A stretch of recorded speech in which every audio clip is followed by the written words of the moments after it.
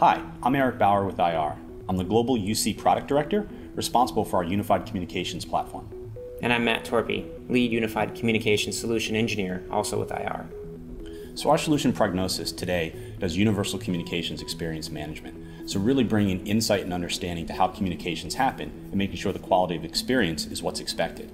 We're looking to extend that with the Skype Developer Platform to bring true interactive communications to what's traditionally an IT operations solution.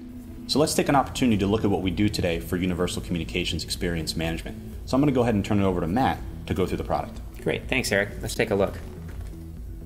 I've gone ahead and logged into the web interface. It's an HTML5 compliant web interface. So any one of the browsers that you use today that support HTML5, you'll be able to use with your prognosis solution. HTML5 also enables anytime, anywhere access uh, for accessing prognosis, whether it's an on-prem deployment or an in-the-cloud solution. Now that we're actually looking at one of our particular Lync or Skype for Business sites, you can see there's a lot of different data that's coming up within the screen for us. We have information around our server pools, the roles of those different servers, the numbers, the contactability, even the maximum CPU and memory utilization for each one of those servers. In addition to that, I'm looking at my real-time calls that are actually happening in this environment.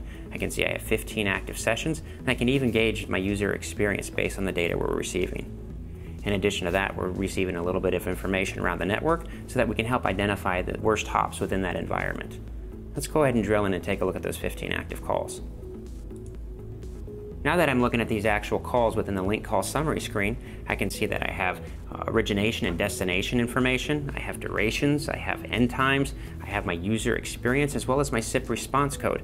So again, this is information we're receiving in real time. What enables us to receive this information in real time is, is the ability to tie in with Microsoft's uh, SDN API that provides us this network layer visibility for in-flight voice quality information. Let's go ahead and drill down and take a further look at one of these. Now we're looking at one of those active sessions under the Lync called details screen. We can see again information related to the call information. Apparently that call just ended, but information that we're receiving in time is, is statistics around the, the, the SIP URIs, the number of cores on the different machines that are involved. We also have associated quality streams so that we can identify uh, user experience uh, bidirectionally between these two Lync clients. We have network hop information so we can track essentially that session as it traverses those different network devices to help identify any areas where impairment can occur.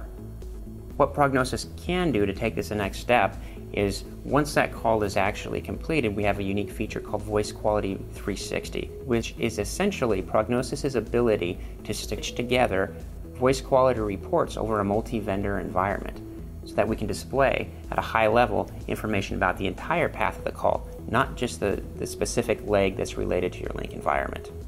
For this specific call, we can trace that through this environment from the left-hand side going to the right-hand side.